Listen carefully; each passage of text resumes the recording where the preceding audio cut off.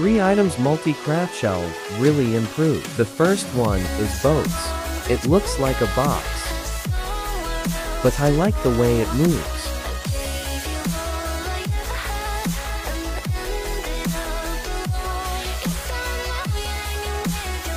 The second one is fishing poles.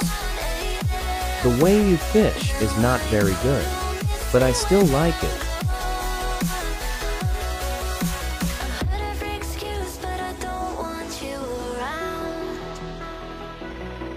The last one is water. The way the water flows. Subscribe.